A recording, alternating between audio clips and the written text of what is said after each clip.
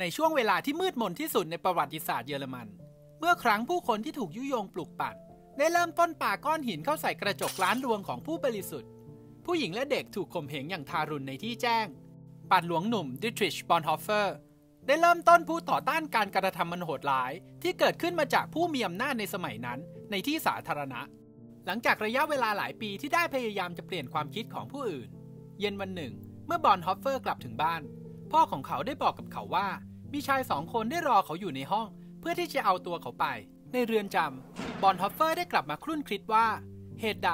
ประเทศแห่งนักคิดนักเขียน ถึงได้กลายมาเป็นแหล่งรวมของพวกขี้ขลาดหัวขโมย และอาชญากรไปได้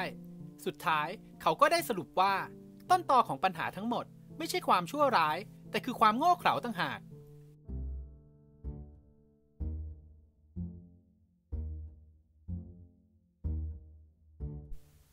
จดหมายจากเรือนจำฉบับหนึ่งของบอนฮอฟเฟอร์ได้กล่าวถึงความโง่เขลาเอาไว้ว่า มันเป็นศัตรูที่ร้ายกาจต่อความดี มากยิ่งกว่าความชั่วเสียอีก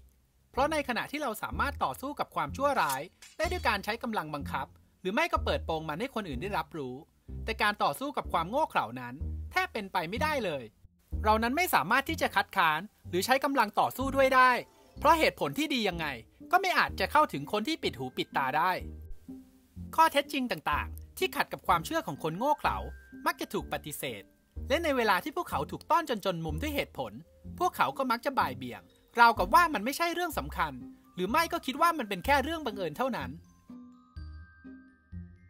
คนโง่เขลาที่เราพูดถึง เป็นพวกที่เอาแต่ความพอใจของตัวเอง เปราะบาง ถูกยั่วยุได้ง่าย และกลายเป็นตัวอันตรายที่พร้อมจะทำร้ายคนอื่นๆ เพราะฉะนั้นแล้วพวกเราจึงต้องระมัดระวังเป็นพิเศษ เวลาที่ต้องรับมือกับคนพวกนี้ มากกว่าพวกโจรผู้ร้ายเสียอีก แต่ถ้าอยากที่จะทำความเข้าใจเกี่ยวกับความโง่เขลาที่ว่านี้ให้มากขึ้น เราก็ต้องทำความรู้จักกับธรรมชาติของมันกันเสียก่อน อย่างน้อยที่เรารู้กันตอนนี้ก็คือ ความโง่เขลาที่เรากำลังกล่าวถึง ไม่ใช่เรื่องของสติปัญญา แต่เป็นเรื่องของความรู้สึกผิดชอบชั่วดีต่างหาก จริง ๆ แล้ว มีคนฉลาดมากมายที่ยังทำตัวโง่เขลา และคนที่มีความรู้น้อยอีกเยอะแยะ ที่ไม่เคยทำตัวโง่เขลาเลยก็มี ความโง่เขลานี้ไม่ใช่สิ่งที่ติดตัวเรามาตั้งแต่เกิด หลาย ๆ ครั้ง คนพวกนี้ถูกคนอื่นทำให้โง่เขลาหรือไม่ก็ยอมปล่อยให้ตัวเองเป็นคนโง่เขลาซะเอง เราจะเห็นได้ว่า ผู้คนที่รักสันโดษนั้น มักจะพบเจอกับปัญหานี้น้อยกว่าคนที่ชอบเข้าสังคม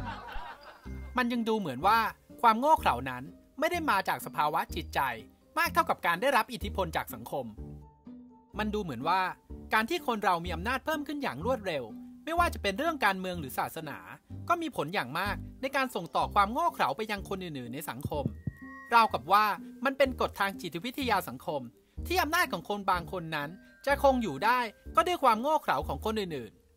ๆ สิ่งที่เกิดขึ้นนั้น มันไม่ใช่ว่าความรู้ความฉลาดของคนเราจะไม่มีความหมาย แต่มันดูราวกับว่า การอยู่ภายใต้อำนาจที่เพิ่มขึ้นอย่างรวดเร็วนั้น ทำให้คนมากมายถูกริดรอนอิสรภาพทางใจ และไม่ว่าจะตั้งใจหรือไม่ พวกเขาก็ยอมรับให้กับการถูกควบคุมโดยคนอื่นไปเสียแล้ว ความจริงที่ว่าคนโง่เขลามักจะดื้อรั้นนั้น ไม่อาจปิดบังความไม่เป็นตัวของตัวเองของพวกเขาไปได้ เวลาที่เราพูดคุยกับคนเหล่านี้ เราอาจรู้สึกเหมือนว่าไม่ได้พูดคุยอยู่กับบุคคล แต่เหมือนคุยอยู่กับสโลแกนคำคม หลักการความคิด หรือชุดความคิดบางอย่างที่มันกำลังครอบหัวคนคนนั้นอยู่ พวกเขาเหมือนอยู่ภายใต้มนต์สะกด ถูกหลอกใช้อย่างผิดๆ ถูกทำลายความเป็นตัวของตัวเอง และได้กลายเป็นหุ่นยนต์ที่ไร้ความรู้สึกนึกคิด เท่านี้ก็พร้อมที่จะทำสิ่งเลวร้ายต่างๆ โดยที่ไม่สามารถจะมองออกได้ว่า สิ่งที่พวกเขากำลังทำอยู่นั้นมันเป็นสิ่งที่ชั่วร้าย มีเพียงแค่การปลดปล่อยทางความคิดเท่านั้น ที่จะเอาชนะความโง่ไปได้ ไม่ใช่การสั่งสอน เราต้องเข้าใจก่อนว่าโดยส่วนใหญ่แล้ว การได้รับการปลดปล่อยทางความคิดจากภายในนั้น จะเป็นไปได้ก็ต่อเมื่อ ได้มีการเปลี่ยนแปลงจากสิ่งแวดล้อมภายนอกเสียก่อน และก่อนที่จะถึงตอนนั้น เราแค่ต้องหยุดพยายามที่จะไปเปลี่ยนความคิดของพวกเขาซะ บอนฮอฟเฟอร์ได้จากโลกนี้ไป จากการที่เขาได้มีส่วนร่วมในการต่อต้านฮิตเลอร์ ในช่วงเช้ามืดของวันที่ 9 เมษายน ปี 1945 ที่ค่ายกักกันฟลอสเซนเบิร์กเพียงสองสัปดาห์ ก่อนที่ทหารอเมริกันจะเข้ามาปลดปล่อยค่ายนี้ให้เป็นอิสระ บอนฮอฟเฟอร์เคยกล่าวไว้ว่า การกระทำนั้นไม่ได้เกิดจากความคิด หากแต่เกิดจากความพร้อมที่จะรับผิดชอบ และบททดสอบทางจริยธรรมที่สำคัญที่สุด ก็คือโลกที่เราจะส่งต่อให้กับลูกๆหลานๆของเรานั่นเอง ทุกคนสามารถตามอ่านบทความต้นฉบับ After 10 Years ที่บอนฮอฟเฟอร์ได้เคยเขียนไว้ ได้ในลิงก์ในคำบรรยายด้านล่างสำหรับข้อมูลเพิ่มเติมเกี่ยวกับบอนฮอฟเฟอร์ หรือถ้าใครอยากจะดาวน์โหลดวิดีโอนี้แบบไม่มีดนตรีประกอบ ก็สามารถไปยัง sproutsschools.com ได้เลย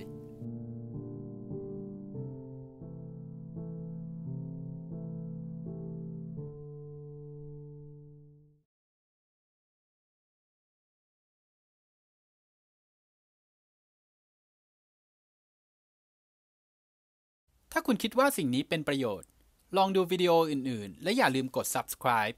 และถ้าคุณอยากจะสนับสนุนพวกเรา กดเข้าไปใน patreon.com/spout สำหรับข้อมูลเพิ่มเติมและคอนเทนต์อื่น ๆ ก็เข้า spoutschools.com ได้เลยนะครับ